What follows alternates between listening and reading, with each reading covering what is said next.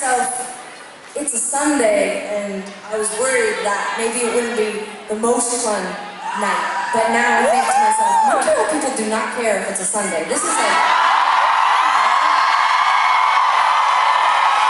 We're all probably gonna go to a strip club now, and then to a rave, and then to another after party, and then, then to another concert, and then to school, or whatever. Yes. one of my earliest memories. I'll tell you. Can I tell you one one thing, one story? Can I tell you one? Um, I've been to this club before, so I know that sometimes when you're all the way at the back of the bar, the people at the front start talking, and you're just like blah blah blah. So please feel free to keep talking at the back. But up here, you just you must be quiet. Just some of you have to give me the impression that you're listening to tell the story. But my, one of the first times that me and Tegan were in, uh, well, the first, one of the first times that we were in Montreal, we came here just to visit friends, and I went to an after hours club with people in Laval.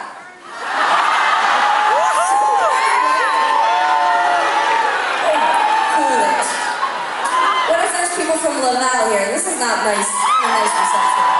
So I. I didn't have a good time. I, I, uh, I was long past the time in my life where I was going to any sort of after hours or raves. Like for me, the after hours is the bathroom in the middle of the night when I get up to pee. But so, it's like the oldest person joke ever.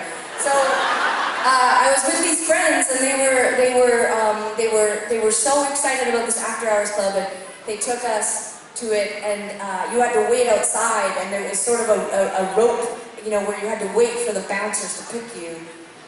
It was a goddamn nightmare. It was, it's like, I don't even understand what they were looking for. It was minus 20, we were in parkas. I just kept thinking like, do we have to take our jackets off? Like, does it, is it about how expensive the parka is? I couldn't tell what was getting people in quicker.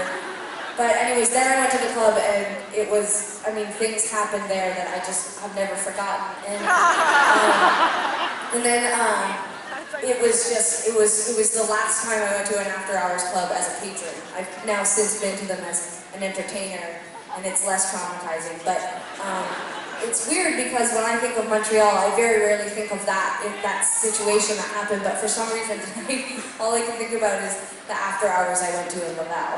And, uh, that's it. That's the story. But this one, this next song, there's a, there's a tie-in.